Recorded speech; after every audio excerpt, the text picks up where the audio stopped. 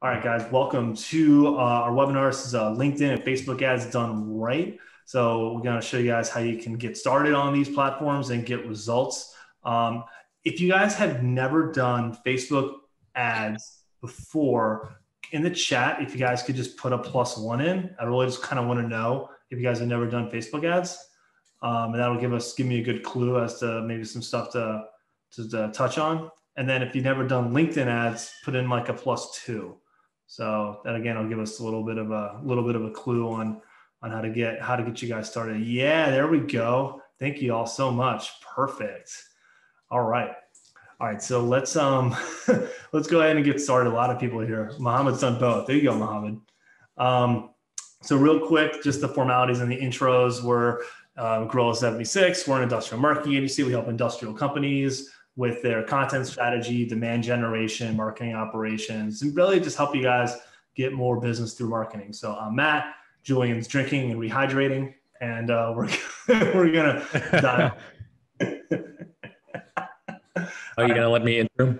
Yeah, go ahead, introduce yourself. All right. So uh, yeah, my name is Julian. Um, I've been a Gorilla for coming up on three years. I'm a strategist here, so just helping clients do exactly what we say here, just helping manufacturers generate new business through marketing. Done a lot of LinkedIn ads and a lot of Facebook ads, and just learned a lot in the past couple of years. So hopefully, share some good insights today. All right. All right. So let's go and dive right in. Um, so we're going to cover Facebook versus LinkedIn, how they're like and how they are different, because I don't think you should approach both ad platforms quite the same. There's a different set of expectations that come with each. We'll go over some common missteps, the kind of ads that we think you should run. Again, you will run different advertisements for both platforms um, in some cases, in some instances. And there's going to be some cases here where LinkedIn's not going to be a good fit for you, or Facebook's not going to be a good fit for you. And so we'll, we'll kind of cover some of those scenarios as well. Then we're going to go over basic setup, targeting, creative best practices, and then going through some analysis. Um, we'll do that on Facebook and LinkedIn. Uh, we're actually going to go live in the tool to do both of those. Then we'll talk a little about spend, final thoughts. No surprise, they're going to revolve around strategy, and then we'll take your questions. Um, we'll answer as we'll answer them in as much depth as possible. Again, we're good in these ad platforms, but I wouldn't call either of us experts. So we'll we'll give you as much guidance as we can, or if we don't have the answer, we can recommend people for you. So let's go and dive in. Okay, so Facebook versus LinkedIn ads. Um, this is actually a question because it's depending on what your company does or how much your product costs, um, you may actually have a better fit for one or the other. So the biggest thing is where can you reach your audience best? Now on LinkedIn, that's going to be a lot easier because you can really target people by industry and by job title uh, much easier. You can do that in Facebook, and I'll show you guys how to do that. Facebook is obviously going to be cheaper, um, sometimes a lot cheaper. Um, and so there's just a trade off of how much you're willing to spend to do advertising on LinkedIn versus Facebook. Always, you're going to want to test both and compare the results. Um, so I would honestly try to go after both audiences and both platforms with an equal amount of money and see if you like your results on one versus the other. And then as you see results come in, max out for the more efficient channel, but I would never abandon the other one after, you know, just one test. You may find over time that one platform is going to work a lot better for you than the other. I don't think that means you should abandon the other platform. I just think you should find the formula that will work for you on that other platform. In some ways, I think you have to try to be in both if you can. Um, you may be limited by budget, or sometimes your audience just may not be there. But I think all things being equal, you should certainly try. Anything to add to that, Julian? Nope, that was good. All right, let's roll. All right, so common ad missteps. So I think the biggest issue with people building audiences is um, you build your audience too big. So it's a good practice to me. I, I always think of it in, in, this regard. Think about your big industry trade show. Everyone here who works is in the industrial sector. Probably you all have your big trade show, right? So your big trade show probably gets forty thousand people, maybe at best. The biggest trade show maybe in your space, fifty thousand. So think about you know does the will will you get like can, can you build an audience of like 40,000 of 400,000 people like you, are not going to have 10x your audience on Facebook that you would at your trade show. So I think building an audience of that size in LinkedIn or in Facebook is a recipe for disaster. It's a way to it's a way to waste a lot of money targeting people who probably aren't good fits for your company. So my best practice for audience building is 25,000 to 100,000 tops. I usually try to be more in the 75,000 range. Um, and then use that audience as my starting point. If I really like my results, then you can use some other tricks to try to increase your audience size. But uh, I would, uh, that's where I would definitely start. And uh, the other thing is, you can go smaller than 25,000 too if it's a really good fit for you. If you're doing, if you sell a really niche product in a really niche space. Um, so for instance, like when we're targeting marketers in the industrial space in Facebook, like our audience size is like 16,000 people and we're fine with that because that's, it's, it's, we're really going after like a very specific ad set.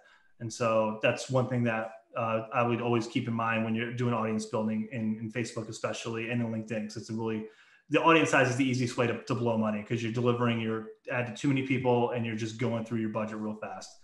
Uh, the other one's empathy, um, understanding your audience, understanding the sort of things that they react to, um, especially things that are contextual. So, a great example of this, uh, I know uh, MJ, who's uh, a host of my podcast, and she runs ads on on Facebook to machinists. And one of the things that she recognized when she was doing customer interviews was no machinist wears a hard hat in a machine shop. But as she went through all the stock photography for machinists going through Shutterstock or, or whatever's out there, all of them were wearing hard hats. So that was having no context for your audience and your creative. So they were doing that at first, recognizing that you know nobody was identifying with that because no machinist wears a hard hat in a, in a in a machine shop. And so they ended up using real photos of their people um, or of their customers in a setting, and it ended up doing much better because they understood their audience and, and what resonated with them more.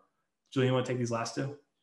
Yeah, for sure. And you know, one Mohammed, you asked, uh, wouldn't a smaller audience work if your average sales ticket is large? I mean, generally speaking, there's nothing that speaks against a small audience. You just kind of have to see what works for you. I mean, you don't want to go so small that every ad you run, you know, you spend a lot of time putting the ad together and running, you know, putting creative together setting everything up and then only you know 50 people see it or so it kind of depends you know it, it just depends um, so yeah lack of testing just make sure you when you run an ad and this gets more important the more you spend if you spend very little let's say 500 bucks a month maybe you don't have to worry so much about testing because you're not going to get a ton of results or you don't have to do as much testing but if you're spending 10 grand a month then you better be testing different audiences and different creatives. So, uh, Matt, you can you can show a little bit later um, how you can test on the audience on the ad set level, and then you can test different creatives on the ad level in Facebook.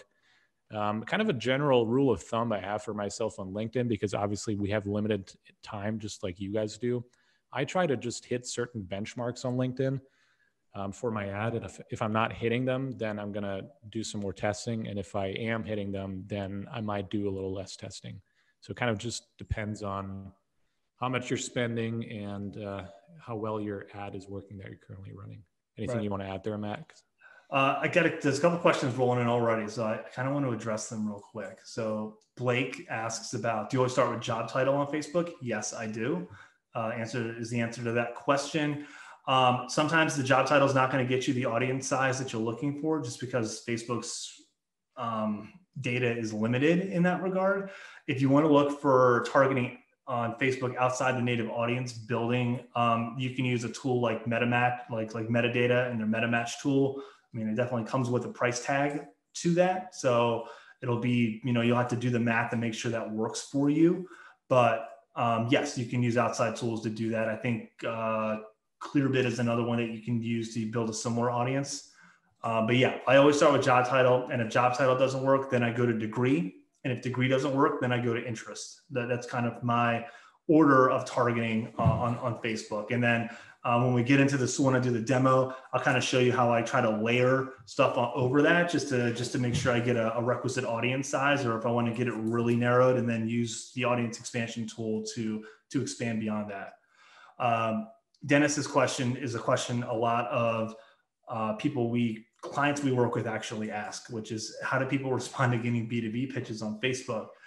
Um, we don't really pitch people on Facebook. So um, we'll get in this when we get into creative and we get into copy and stuff. But really, the idea for Facebook and for LinkedIn, for that matter, is we use it to guarantee consumption of content for our audience. So I'm not running, um, so we're not running ads on Facebook. or I don't run ads on Facebook to try to get people to register for a demo or request a quote.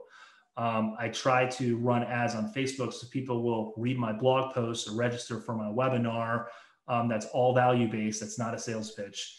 Um, or they will visit my deep product page that's positioned in such a way that it's supposed to help solve a problem. But my expectation isn't that they're going to directly respond to it by booking time or by requesting a quote. My expectation is that they're going to visit it, consume it, and then we'll be able to go back to them with other advertisement, other creative down the line, and just kind of get them in a content stream and a content nurture, similar to what you would do with email, really, except it's you, you have a lot more, I think, um, you just have a lot more room to be creative about it.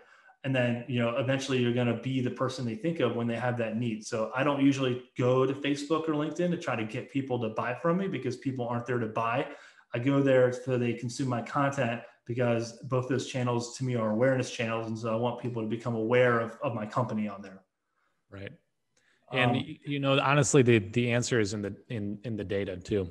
Um, there's, I've heard lots of discussions around this, but when we're running ads, let's say I'm running a video ad and I'm spending $5 to have someone watch a video on LinkedIn, and I'm spending $2.50 to have someone watch a video on, on Facebook, and it's the right fit audience on Facebook, and I'm spending half the money, then there's your answer. People are consuming the content that we're putting out there. And I, I know we can say the same thing for, let's say we want to send them to a product page to educate them about your product you're going to be it, it, kind of depends but a lot of times you're going to be spending half or even a fraction of what you'd be paying on linkedin and the proof is in the data you can see that people are spending time there and you can see who is spending time there um, just by how you build your audience and how you track results so that the argument of are b2b people really on facebook or is it more of a recreation channel it's just answered in data and you guys should test it and kind of find out for yourself uh, let's roll the next slide real quick. Uh, Wendy, I see your question, and I'm actually going to address that throughout the presentation because um, I actually have a slide kind of dedicated to that. So just hold tight for me on that one. So the kind of ads you should run, I kind of got into this with Dennis's question, but distribute helpful content, um, videos, articles, webinar registrations, communicate benefit. So tell the audience if you're going to do a product page ad, who's your product for, what does it do, and how is it different?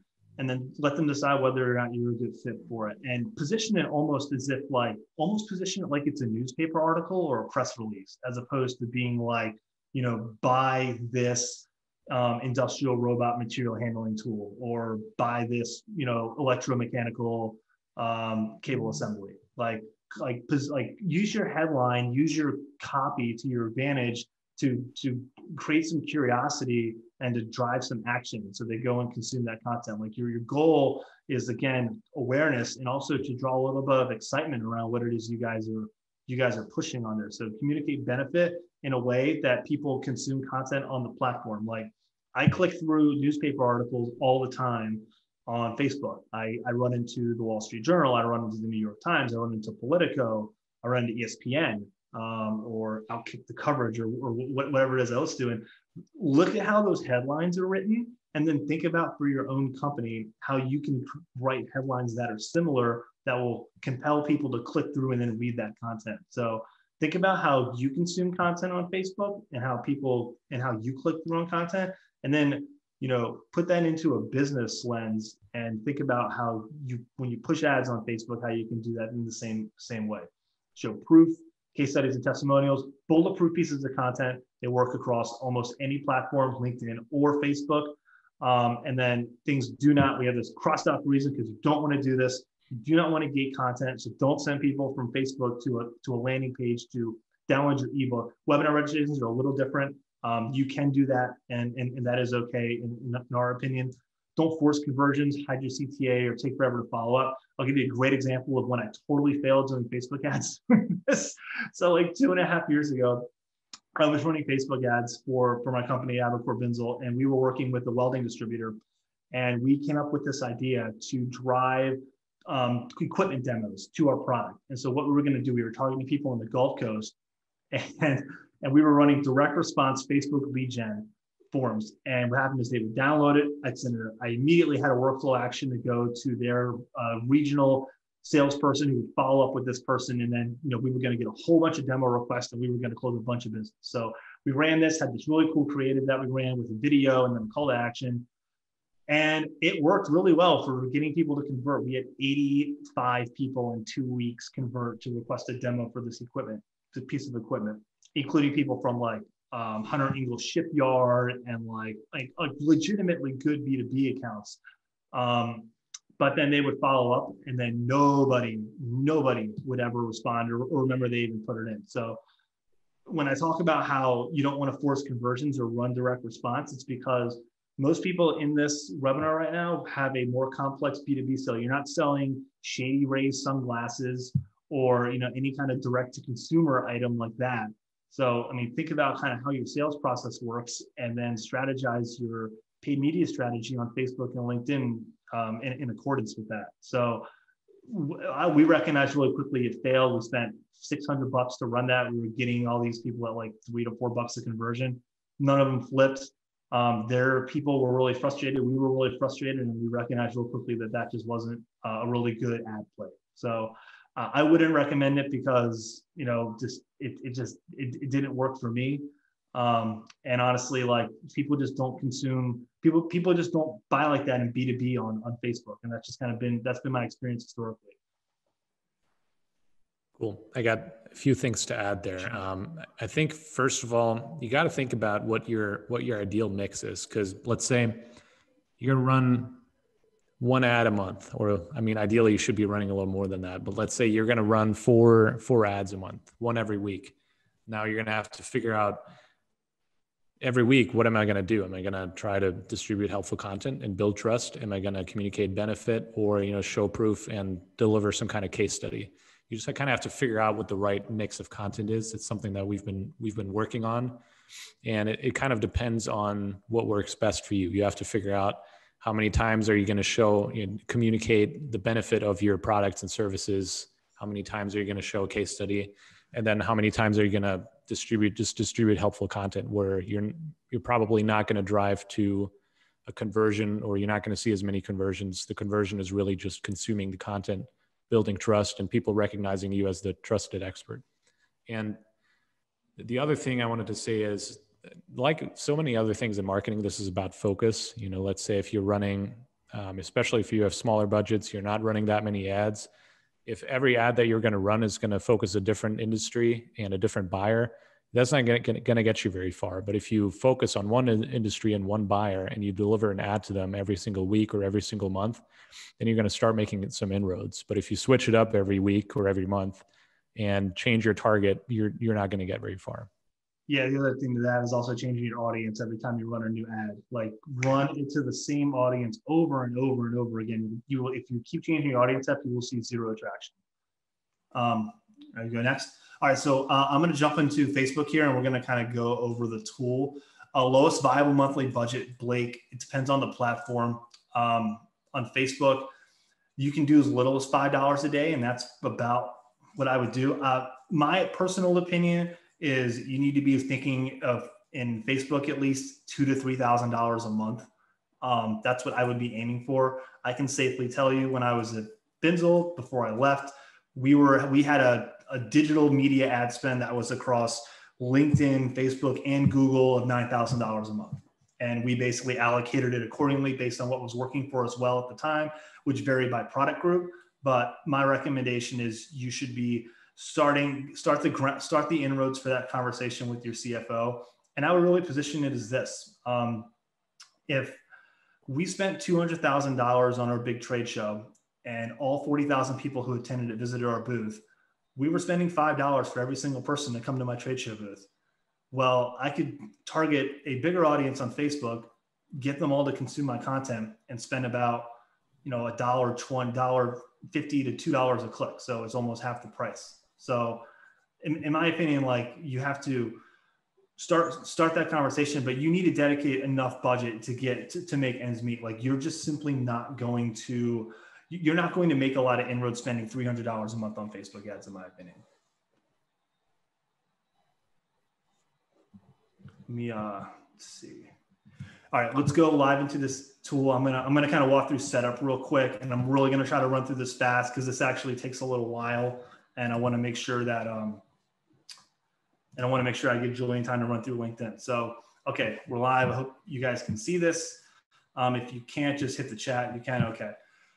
All right, so first setup. Um, the only thing that a lot of people think that they can do this from your Facebook page. There's actually a bunch of there's three different kind of Facebook accounts that you got to think of. There's your Facebook page, there's your ads manager, and there's your business manager. So you need a Facebook ads account, which you can either get straight through Facebook ads or you can go through Facebook business manager and, and, come up with an ad account that way. But this is that tool. This is Facebook ads manager. This is its own tool all to itself. And so this is where if you want to run ads where you're doing you know high targeting, uh, you're going to want to use a you're going to want to use this tool in particular and this is where most people this is where you're running ads um, for facebook. So create simply just right there. Um, i would always default to if if i'm not sure what my goal is my goal is going to be traffic. Um, traffic is going facebook will just deliver this to people who are most likely to um, most likely to click on your ad go through to your landing page whatever it is. If you're running a um, if you're running a video ad and strictly you just want people to consume video on Facebook that you're running, go to video views. Um, and if you're going to run something more, if you're going to run something where you want conversions in particular, I mean, you can do conversions, but I would always default to traffic. Traffic is usually my go-to. Um, typically, it delivers it to the most people. It keeps my cost lowest, um, and it's historically performed best for me. So that's usually where I, I default to. So you just click your consideration. Um, brand brand awareness and reach. Those are going to be ones where it'll be really inexpensive, um, but it's going to do it's it's to me it's it's um, it's been something where it's delivered to a lot of people. Having gotten a lot of great traffic from it, people will kind of click into your page and bounce right out. Um, so again, like traffic has always been my default. It's always historically performed best for me, and I would recommend whenever you're in doubt, go to traffic. Um, so just the first part of this, I'll just go through just setting up real quick. Once you kind of pick your campaign objective, you're going to like name your campaign, um, your auction style, your campaign objectives, traffic, you can edit it in here. A-B testing, they've done away with that. You can do that in a tool called experiments. Um, I would do most of my testing within the ad itself. And I would, and I'll go in through a little bit outside the tool of, kind of how I structure that a little. Um, and then at that point, just name your campaign and then click next, and then you're going to go into ad sets. So let me X out of this. Once you kind of click next, you're going to go into your ads manager and you'll you'll get into ad sets. And ad sets is where you build your audience, um, and this is where you can build multiple audiences under the same campaign. So if you look at kind of the structure of Facebook ads, your campaign is sort of like your product or your product group, um, or if you have multiple companies, maybe you would be running one for your company your ad sets or your audiences. So if you're going to target like CFOs in one audience and engineers in another, you'd build the different audiences in the ad set. And then the ads are all a different creative that you would be delivering for that audience. So that is that's that's how that's how to structure your Facebook ads um, in sort of a in sort of a in, in terms of levels. And so the ad set here is where we'll do the audience targeting. And so I want to dive into this because you know the big debate that always happens is like, well, you can't target industrial people on Facebook, and I know that is not true because I have done it, and I, and I know those people are on there. I've seen them on Facebook groups, and I know you can target them in within Facebook. So um, I built a couple audiences here. Let's do manufacturing engineers. So I'll go to edit, and Julian, I cannot see questions, so just monitor them, and we'll we'll jump in while I'll, I'll throw them your way. Okay. So far, um, dead silence. Okay, cool. I'm kidding. oh, oh, yeah. Okay. Let me just get in here real quick. Um, edit this. Let me in. Yeah. Okay, so here's where you do your budget, start date. You can put an end date as well. Um, daily budget, you can do lifetime budget as well.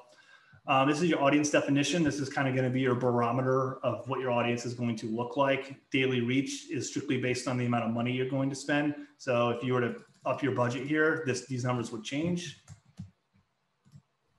See? So it's basically just Facebook figuring out based on their historical data how much you're going to spend. Um, audience definition, this is where you do here. So I would always do, usually I start with cold targeting audience. You can certainly retarget off of your website. We don't have that built into this webinar, um, but there's a way to do that. a couple things that I always look for when I'm building audiences in Facebook is age. Um, people often don't consider age or they keep it too broad. So I usually think like 25 to 60 or 62. If you go 65 plus, you're going to get a whole lot of people who are just not like on Facebook to become aware of stuff. Um, and then the detailed targeting here. So this is where to me you can you can really do a lot of interesting stuff. So um, i want to target manufacturing engineers in this one. So i basically started by finding you know a manufacturing engineer. So let me just back out of this a little bit. I'll see if i can rebuild this. Um, let me just X some of these out and so you can see I already have a few loaded in here. This suggestions tab here is going to really be your best friend when you're building an audience. So as soon as you get your first title and it looks good for you, hit that suggestions T and then you're going to see all these things pop up. And what's weird is you can do this in Facebook. And if you just try to type in process control engineer, it's not going to really pop up for you. But if you have sort of all these groups of people, um, groups of job titles here, it'll all of a sudden all that stuff will start to populate and it becomes a lot easier to build your audience. So this is the most efficient way for me to build your audience up. Um, so I can find that manufacturing one again.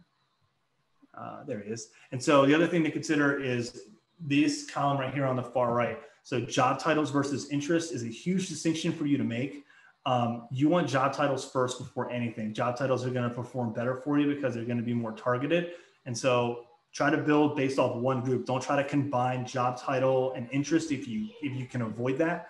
Um, it'll just help you build just a, a cleaner audience for you to, to try.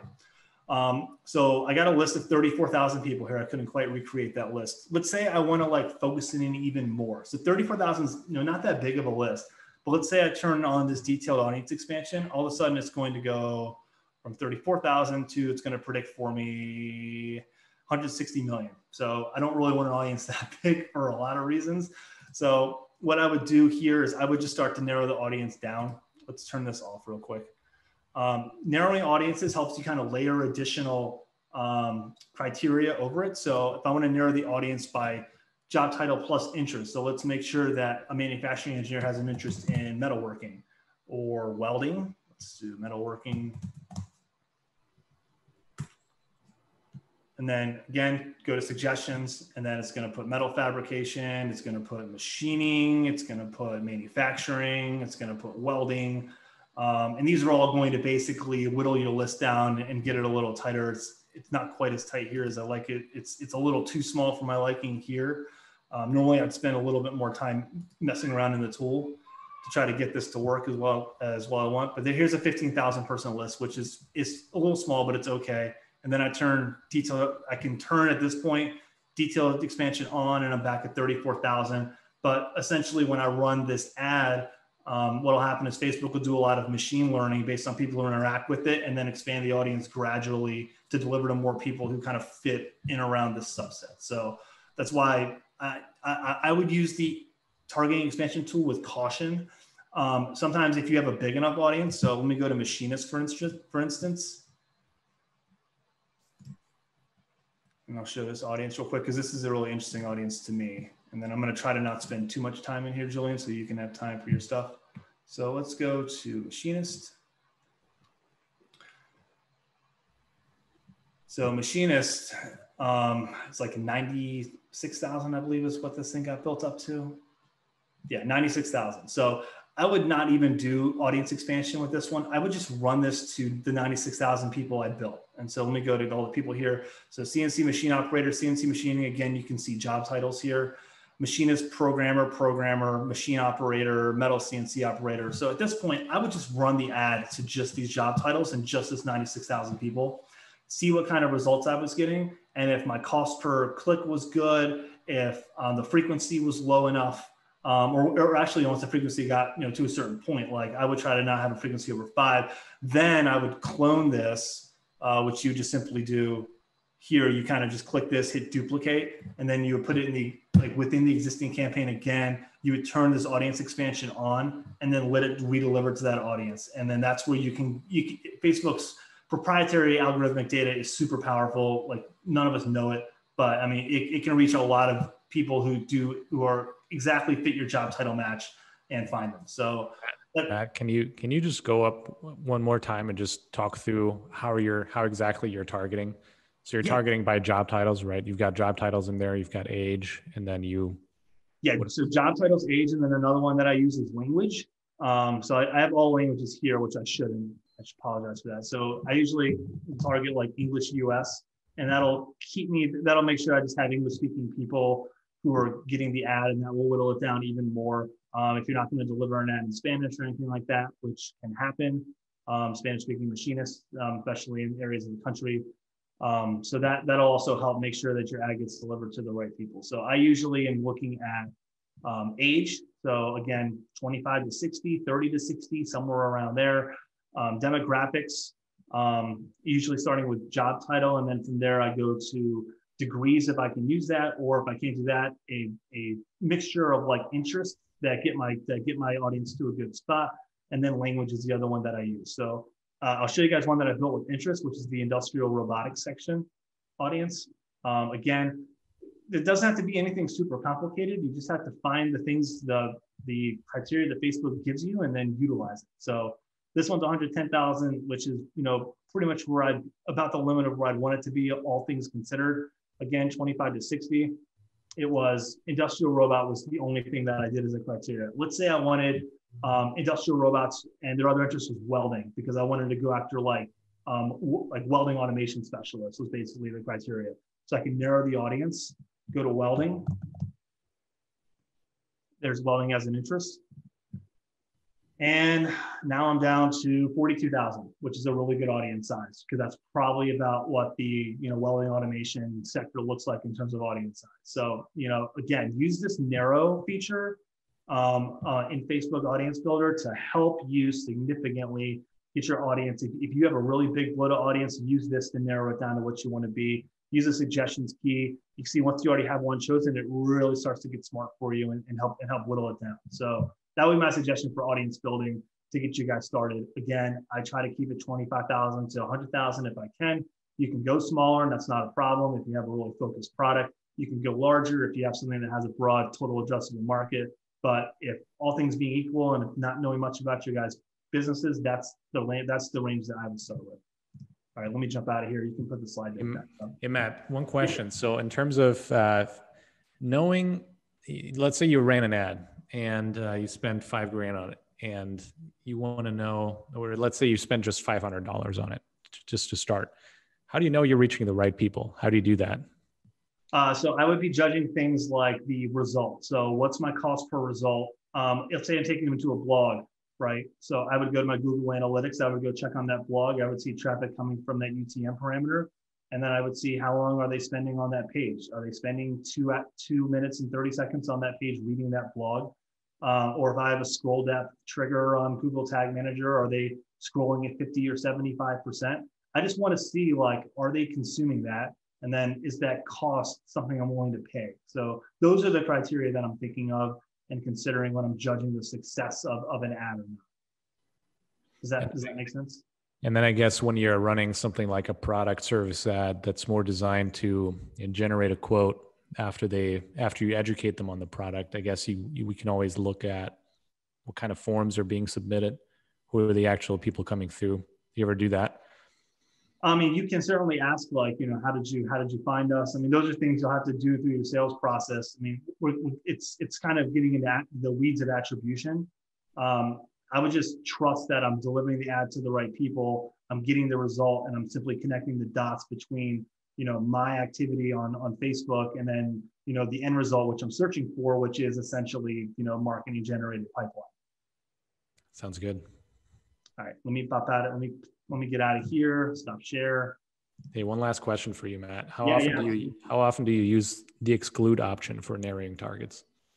Um, I don't I don't typically have to use it often just because when I'm doing in the industrial space, it's so specialized that I don't have to worry about it. Now, if I I can't speak to larger um, sort of ad sets where if I was selling sunglasses or something like that, or maybe I'd want to use the exclusion tool. But the exclusion tool works very much just like the the narrow further tool. So you can simply exclude people who match certain demographic behaviors and um, cladding in, for instance, or something like that. So I'm showing up. There. And I did nothing. Should we do some questions here or jump into LinkedIn? Um, are there, if there are questions on Facebook, we can run through them for sure. But I do want to give you time through LinkedIn. We're 35 minutes in already. All right, maybe let's maybe let's jump into LinkedIn and then uh, tackle some questions after that. I'll, yeah, I'll try to keep it brief, guys. Yeah, I, I, don't I don't want to cheat people. I don't want to cheat people out of LinkedIn either because we wanted to do both. So go ahead and throw your um go ahead and throw the um, slide deck back on, and then you can just run through. You can you can skip my slides. We'll get into them. Should we just jump right in here? Yeah, go for it. All right, cool. All right, so for LinkedIn, I, I'm going to try to keep it very basic. Luckily, LinkedIn, first of all, is a lot more digestible than uh, than Facebook Ads Manager. There's just not as much going on, not as many layers between the Ads Manager and the Business Manager, and all the different different levels that you have within the Ads Manager. So that's nice. First of all, I'm going to show you guys um, three different things. There's a lot more you can do, but those three things are the the things that have worked the best for us in the past. So I'm going to show you how to target by company list and job titles. I'm going to show you how to do industry targeting, which is pretty straightforward, and then um, also how you can use group targeting. And I'm just going to go through this through creating a campaign, kind of like Matt did, and show you what I'm going to look for when I'm setting up up a campaign. And by the way, this is what what our uh, campaign manager looks like for Gorilla. You can kind of see what we're spending on our ads, and these are it's it's kind of meta. This is what these are the kind of ads that we're running to promote this webinar. So if you saw an ad pop up, it's probably it was probably one of these.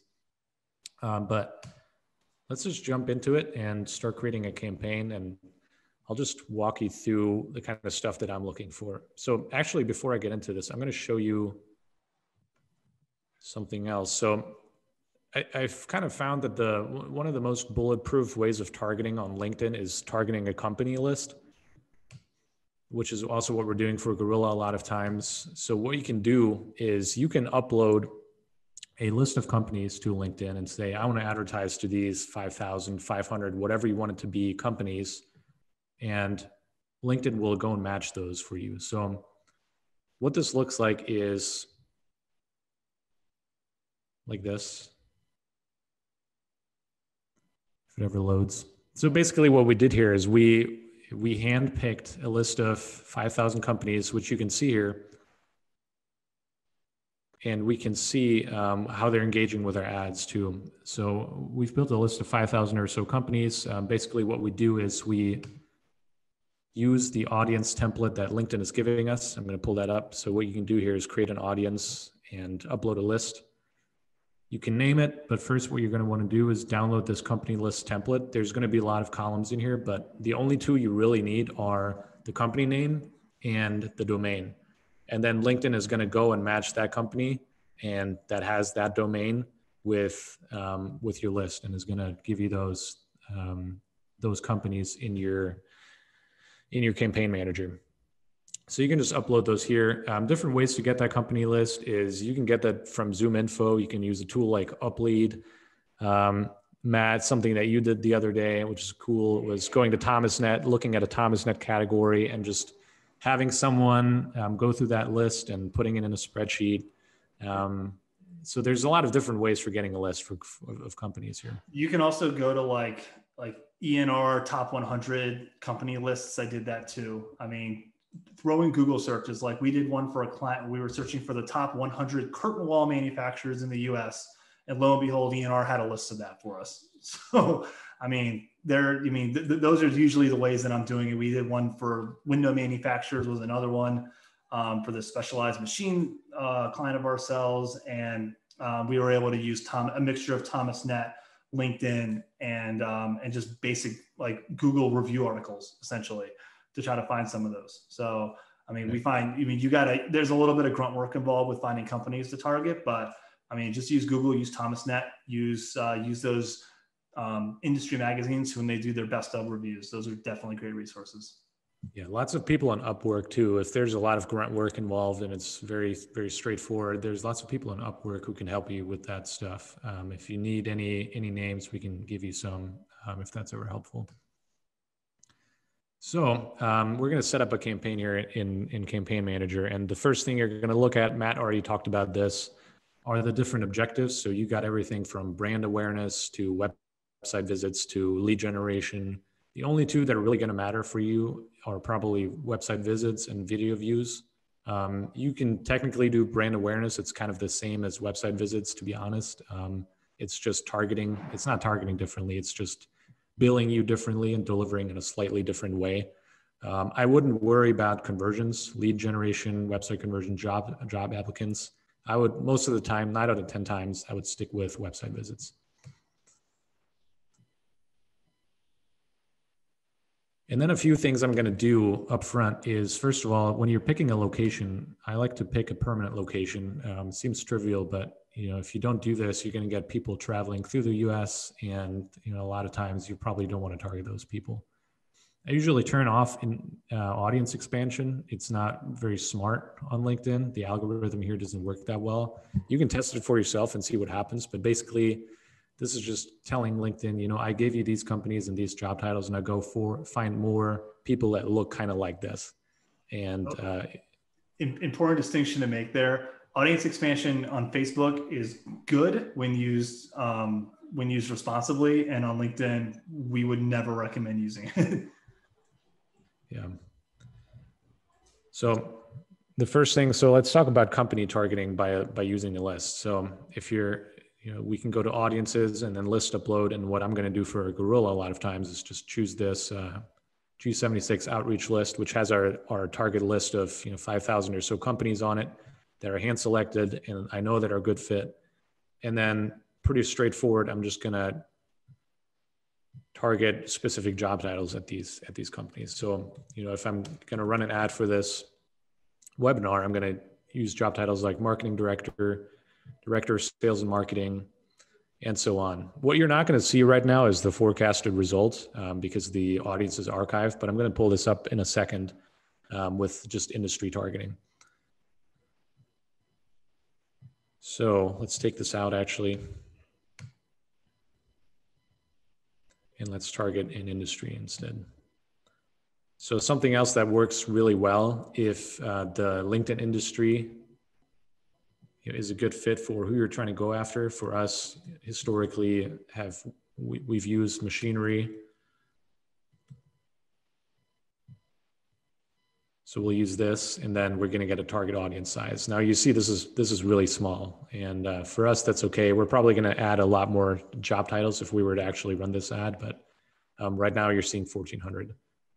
And sometimes what I see happening is I see uh, when I look at my demographics report, which I I'll show you in a second, I see some large companies sneaking in or some companies that I'm not really trying to go after or job titles that I'm not trying to go after.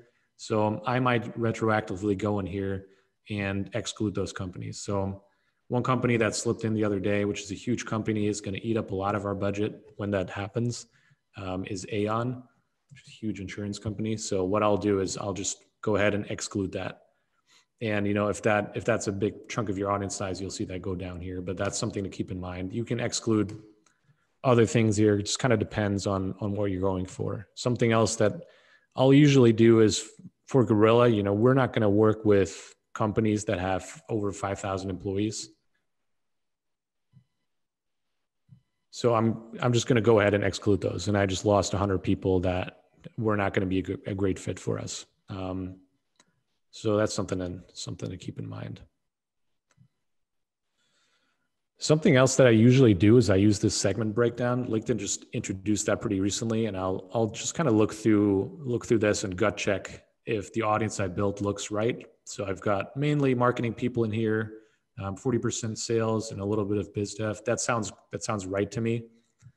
And then I can also check the different company sizes that I'm targeting, and the industries that I'm targeting, which should should be machinery. Um, somehow these two sneak into. Just gives you gives you another layer of safety. Just making sure that you're actually going after the right people. Um, all right. So in terms of ad formats, got lots of different ones. We usually stick with a single image ad. Um, we've the text ad, the spotlight ad. I wouldn't mess with those. They're not going to work well for you. Um, the message ad and the conversation ad, we've played around with those a little bit, but honestly, not enough to give you guys a good recommendation. So, um, the, your safe bet is going to be the single image ad. Uh, sometimes it can be the carousel image ad. Um, it's just going to require a little more work on on doing the creative, and I haven't seen you know better results from the carousel ad. So it's like, why am I going to spend more time making it if I can just use a single image? So I just stick with that usually. I turn off the LinkedIn Audience Network, which LinkedIn is going to go to third-party websites and put your ad there. Um, it hasn't worked well for us, so we don't do it.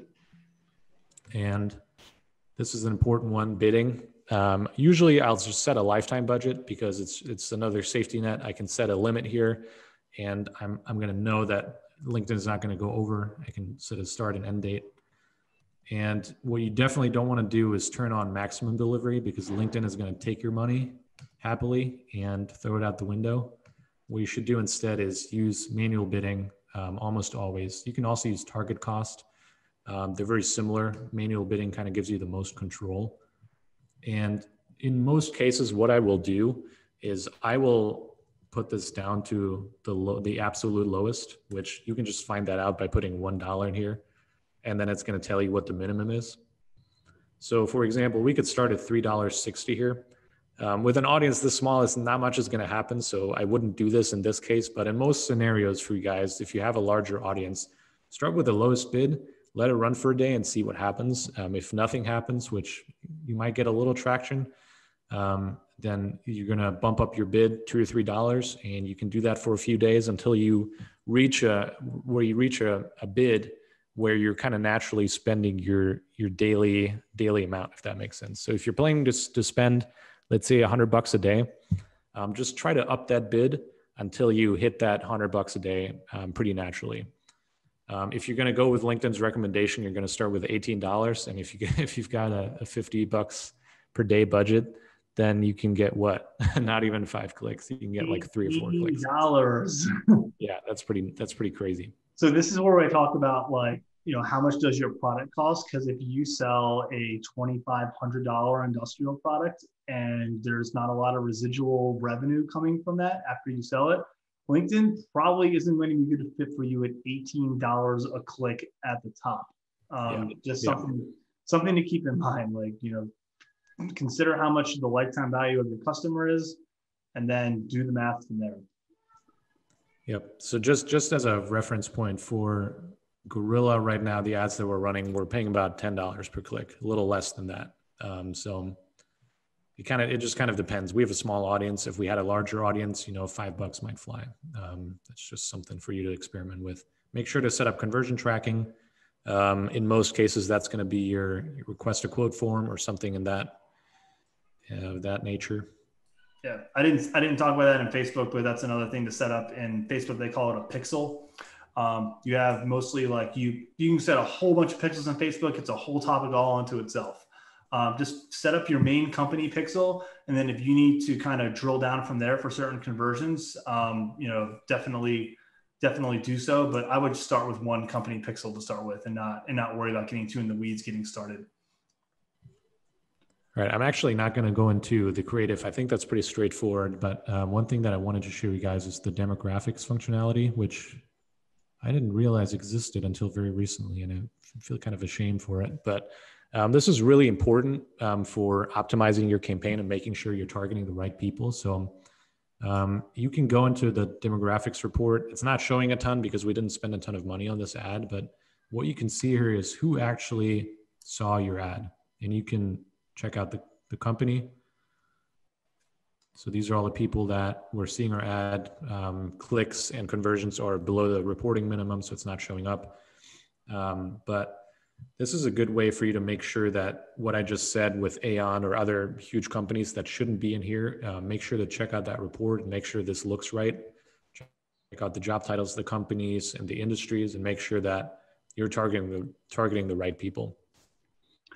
All right, Julian, we got a few questions here, and I think we should, I think we should tackle them because they're good questions. All right, let's uh, go. Can I, can I get on one more thing? Yeah, yeah, get one more thing.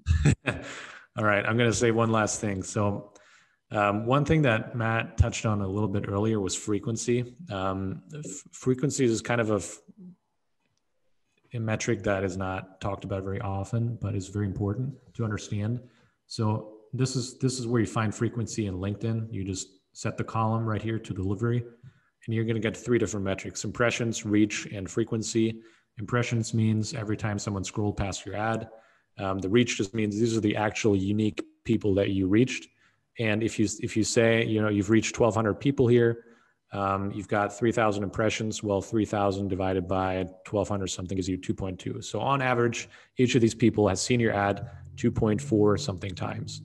Um, Matt and I were talking about this earlier. We kind of um, landed on different numbers, but the point is, you know, you want to keep this frequency low. Uh, Matt was saying, you know, he, he tries to keep it under five. I try to keep it under three.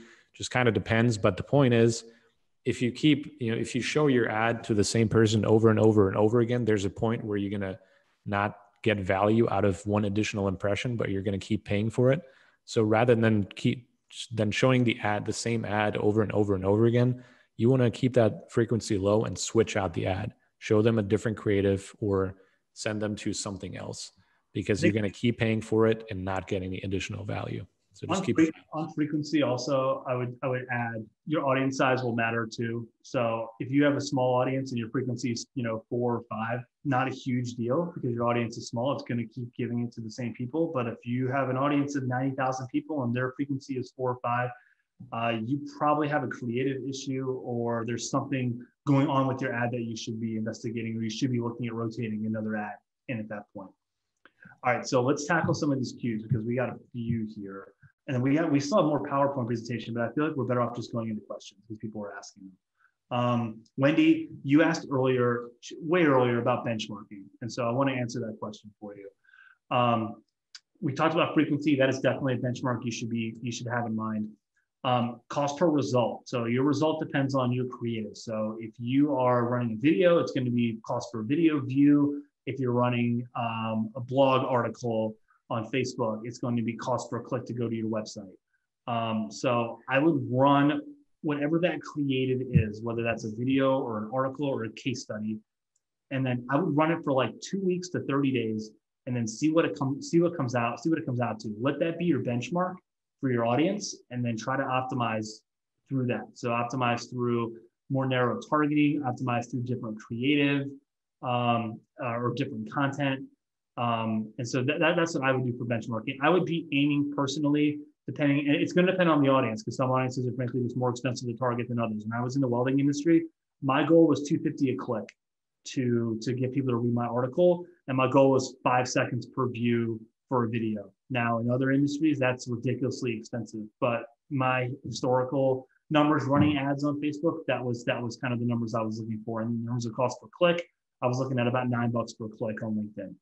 Um, so it's going to depend on your audience really, and that's really and that's going to have a huge impact on what the proper benchmarks are for you. So my suggestion would be start small, you know, run it for a set amount of time, see what kind of numbers you get, and then try to beat them over and over and over again.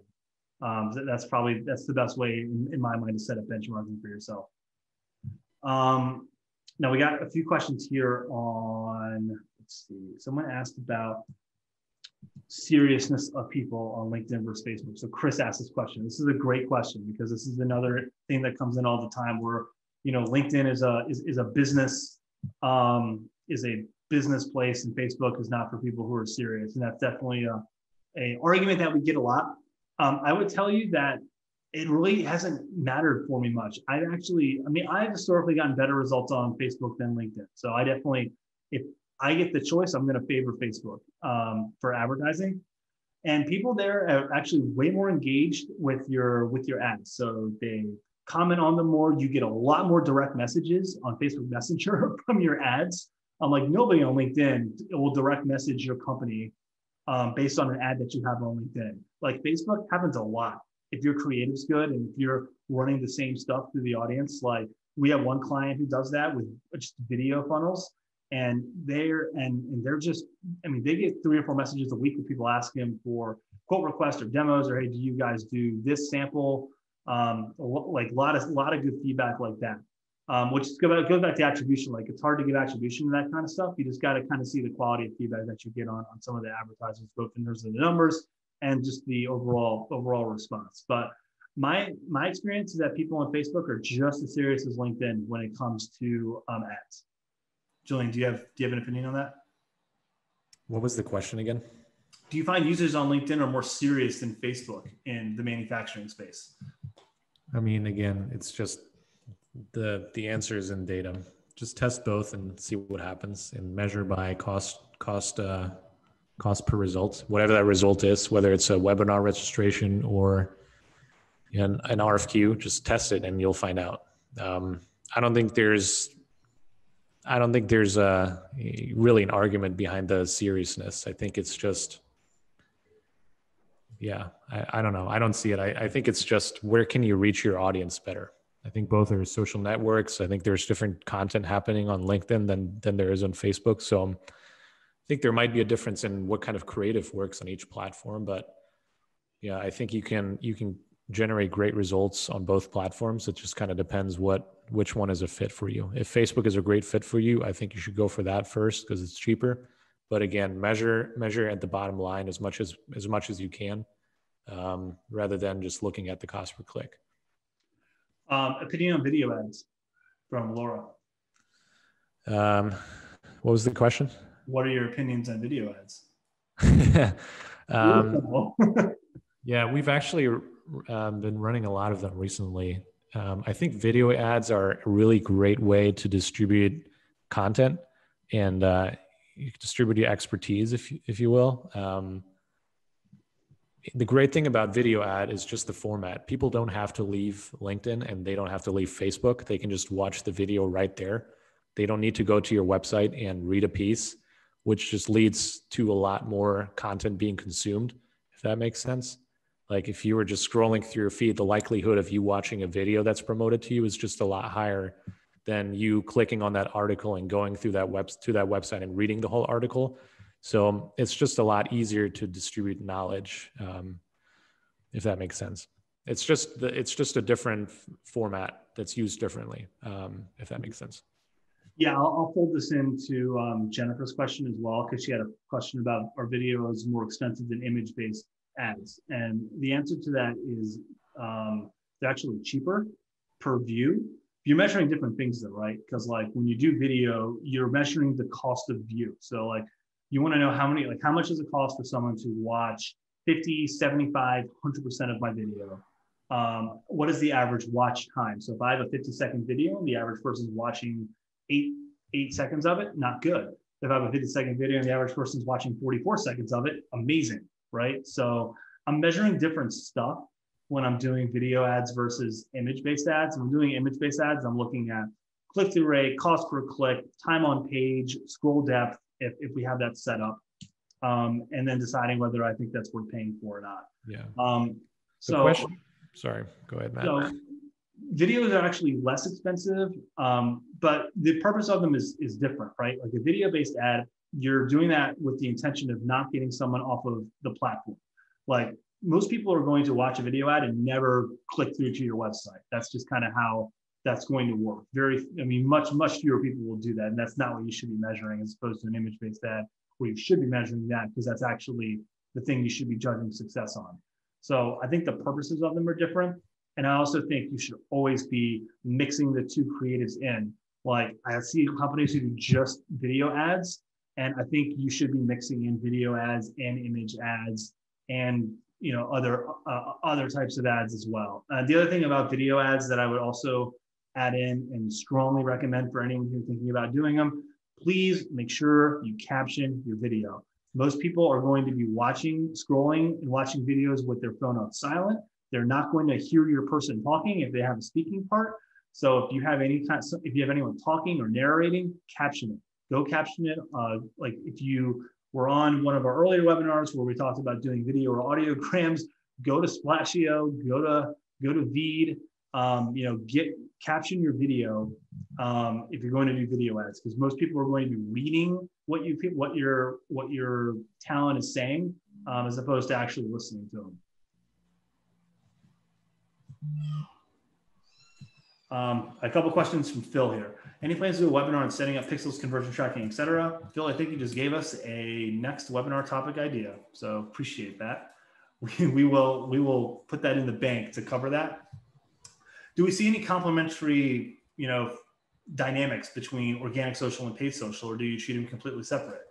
Uh, I personally treat them completely separate. uh, to, to answer your question, like I, I, poured a lot of energy into like my company LinkedIn page when I was at Binzel, and there was very little overlap between um, there was very little overlap between the content and the engagement I was getting on on, on LinkedIn versus what I was getting on um, what, what I was getting on the on the ad platform. So in, in my opinion, there's not a lot of, of, complementary there. Um, if anything, like you think about it, a lot of your employees and coworkers are on um, a lot of your employees and your coworkers are actually on your, your LinkedIn or your Facebook. Facebook's organic reach is pretty, oh, it's basically dead. Um, one thing I, one thing, one things that are, one, one thing that is slick to do is putting an organic Facebook post up and then, um, and then boosting it, not boosting it, but using it as an ad creative. And then also when people go to your Facebook page, you see you have maybe like 200 likes or something like that. But no, there's, there's, there's very little in my experience overlap between the two. And I, I would treat them separately. Do you, do you disagree, agree, Julian? Anything to add to that? I think there's some stuff that you can try. Um, well, we haven't done it just because we haven't had the time, but I just love to get. Yeah, I don't. I don't want to keep paying for ads. And you know, in an ideal world, we have access to our audience for free. Like we have followers on LinkedIn, or we have an email list, um, and we don't want to keep paying for ads because, for obvious reasons, we don't want to keep paying for ads. So one thing that we've been thinking about is, um, you know, when we go into that demographics um, tab and LinkedIn ads, picking out some companies that have seen the last 10 of our of our ads, something like that, and connecting with those people on LinkedIn or seeing who's liking our stuff on LinkedIn, who's liking our ads on LinkedIn, and connecting with them. Um, specifically, Joe. So he's he's the uh, the co-founder of Gorilla and we were promoting a lot of videos that were featuring him. So it made a lot of sense for him to connect with people who are liking the ad and who are watching a lot of the ads. Um, so there's a little bit of you know interplay between organic and paid.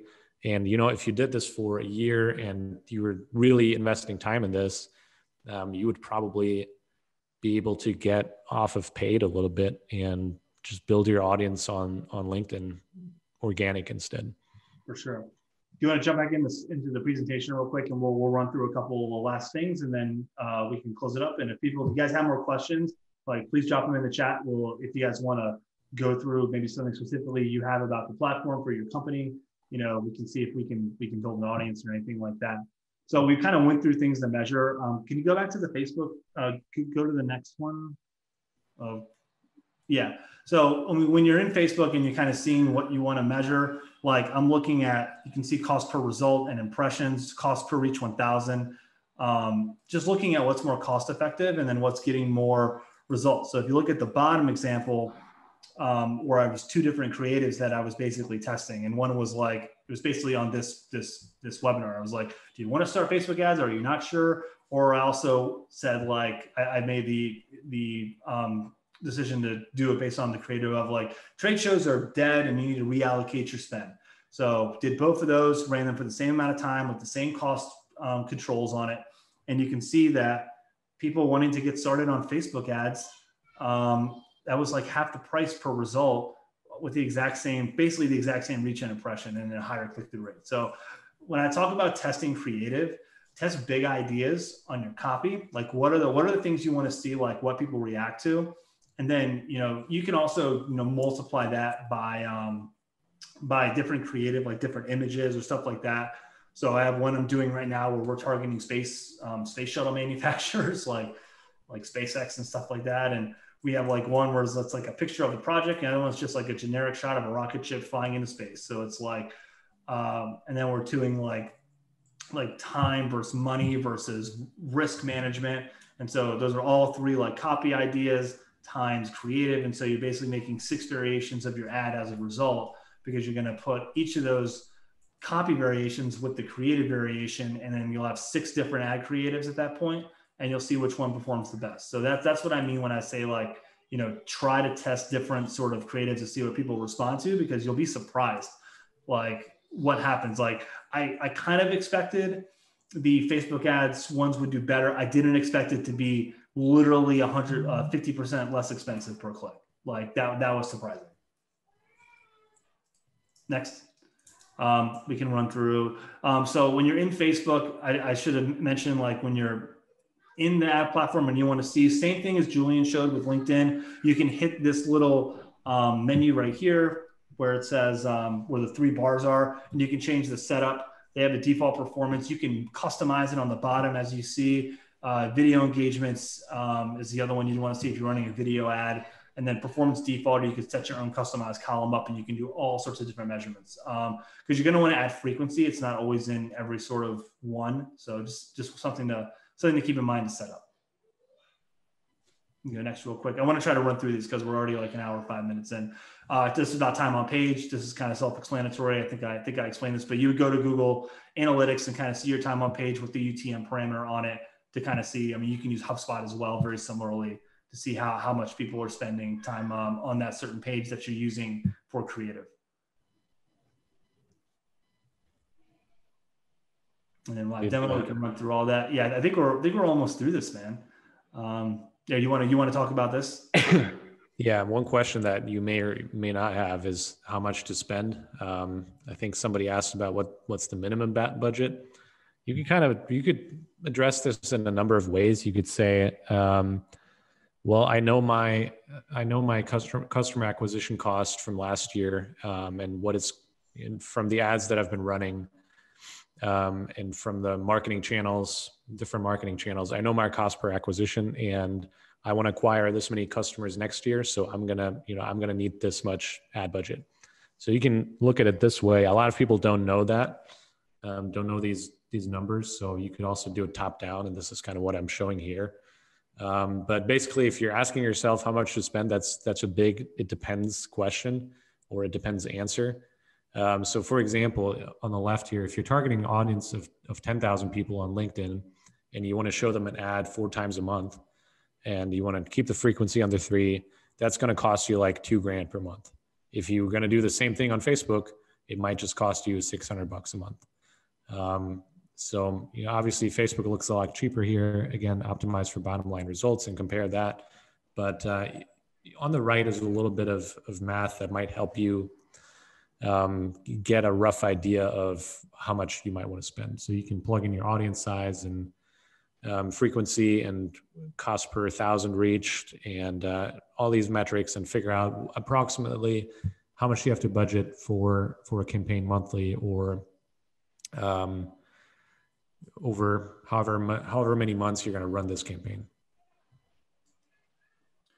All right, final thoughts for us. Strategy, strategy, strategy. Um, basically what, what we want to drive home to anyone here is thinking about doing Facebook ads or LinkedIn ads. Don't simply make one ad in a vacuum and then run it. Have like a plan, like content, have a plan strategy for your ad delivery out. Think, think a quarter out. Like when I when I was running campaigns at um, when I was working at Binzel and I was in house, I was basically planning. I was planning ad campaigns by the quarter. So if I was going to run an ad on fume extraction, I three months worth of advertisement creative all all measured out. I knew every single creative I wanted to run. Um, I knew how many, when I wanted to switch it up. Um, I had the audience already figured out. And I basically was like, all right, every three weeks we're going, and I knew how much money I wanted to spend on it. So like plan by quarter to do stuff like that, or plan by, you know, by six months or, or something like plan out all the different creative you want to do, plan how much you want to spend on it, plan how you want to measure it, um, kind of come up with with hypotheses that you want to run with your audiences, um, and then run tests. Like you know, take some of that budget, play around with the different audience, see if you get a better result. Um, play around with different ad creative, see if you get a better result. But have sort of a have an idea. You don't. I mean, just jot it down. It doesn't have to be super long, right? But have have a plan in place for what you want to do over a protracted period of time. Don't simply come up with an idea for one ad, run it, and then you know sit on it for like six months and think that's going to be your only ad. Um, you need to you need to have more of a more of a plan in place to do that if you want to if you want to run ads and, and get traction on it. It will take time for your audience to get used to seeing you over and over again with your content and before you start really seeing the revenue result that you're going to want to see from your paid ad spend. So don't think it'll be an overnight problem. You'll get some wins every now and then, but bank for six months to nine months before you start really seeing stuff that you're gonna you can point to your your ad strategy and go see that's working for us so i would i would just leave you with that thought and and just to know that this is strictly this is 100% about momentum get started, build momentum, get people in your content stream, get people used to you, get people to know you. And, and eventually, when you keep doing that, and as you get better with your targeting, as you keep running new creative and you see what people respond to, you'll be able to iterate and your results will get a lot better as a result. Anything to add to that, Julian? No. No. All right. All right. So some closing thoughts and resources. And please, if you guys have questions, drop them in right now. If This is the time if you want to if you want us to cover anything for yourself. Um, resources, LinkedIn, like connect with us. We'd love to talk to you if you have anything you want to cover with us. Uh, we have another session on the 16th of November, 2 p.m. We're going to talk about podcasting um, because a lot of um, people don't think podcasting really works for B2B manufacturing. We beg to differ. And so Joe Sullivan, who's our CEO, is going to actually come on with myself. Um, we both have podcasts and we'll kind of show you how to create a podcast basically for free um, for your company. Now you can use that to really do some cool accounts-based stuff. We cover this a little bit in our content webinar uh, we did two weeks ago, but actually going to dive a lot deeper into podcasting to make a business case for you to do it. Uh, show you guys how to do it um, pretty uh, uh for a, a, really efficiently from a cost standpoint, and then frankly just show you how to get it started so you can get traction with it to, to get it off the ground. So please, please join us for that.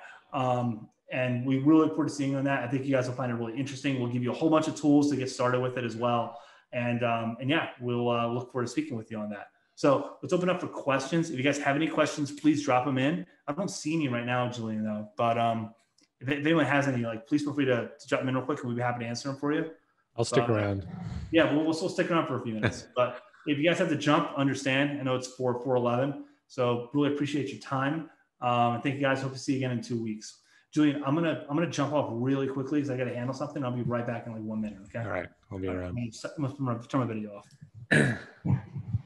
Yeah, I think most people are kind of hopping off right now. So, unless you guys have any other questions, um, we're probably going to favorite manufacturing brands or influencers. Um, that's a really good question. I wish I had Matt here. This sounds like a Matt question. But uh, favorite manufacturing brands, I think one big one that I, I keep coming back to is Firetrace. Um, might even have someone from Firetrace on here, but I think they do a really good job in their marketing from a lot of different perspectives, from content, from uh, copywriting, from positioning. Um, MJ Peters is the um, VP of marketing at Firetrace. We've talked about her a few times, so um, I would definitely check them out. There's probably a lot of other ones that I'm not thinking of right now, but um, will a copy of the recording be sent out? Yeah, we forgot to say that. We always send out a copy of the recording. We'll upload that to YouTube, and we'll also send out a copy of this deck tomorrow. All right, guys, we're going to hop off. I think Matt may or may not be returning in the next few seconds. So thank you guys for joining, and uh, hopefully see you guys in uh, two weeks. Bye bye.